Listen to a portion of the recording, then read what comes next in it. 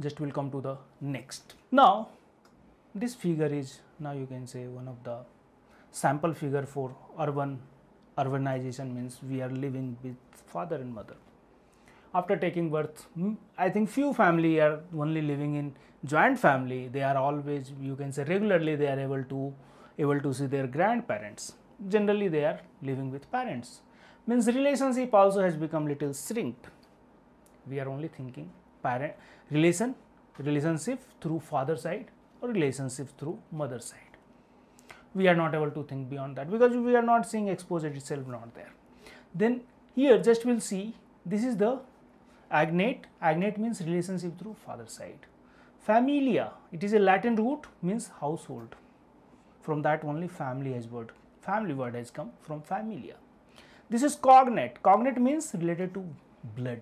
Related to blood is cognate and based on cognate root many of the words we have in english language that will define directly indirectly related to blood. Either it is biologically defined socially defined or maybe some other way. After what? Consanguine that is blood blood relative or you can say who are uh, directly related to blood.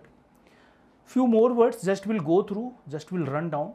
Kin and kith we already know one's blood relative collectively kinfolk clan afterward the race siblings clansmen all these are very general words very day to day words we already know.